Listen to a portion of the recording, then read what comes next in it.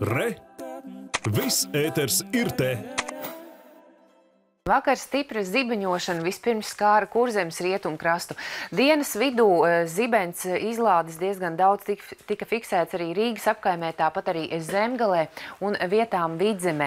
Pēcpusdienā jauna negaisa mākoņa atkal izauga vietām kurzemes vidienē, tāpat arī Zemgalē un vidzemē, taču visintensīvākā zibeņošana bija vakar pēcpusdienā un vakar eh, vakarā tieši Latgalē, kur fiksēta aptuveni 2000 zibeņu un tur pastiprinājās arī vējš līdz 19 metriem metriem sekundē.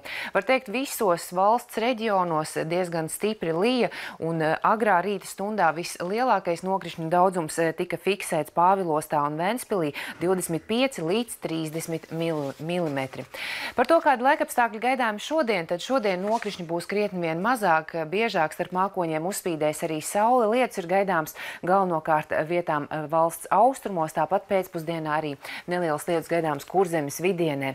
Gaisa temperatūra kurzemē plus 22, plus 25, vidzemē plus 21, plus 25, Latgalē līdz plus 25 grādiem. Valdošais būs lēns vējš, eh, kurzemes rietumos mērens eh, dienvidu rietumu vējš. Rīgā daļēji mākoņains plus 18 grādi starp mākoņiem uzspīdēs sauli, nokrišņi nav gaidām, diena būs silta plus 23, plus 25 grādi.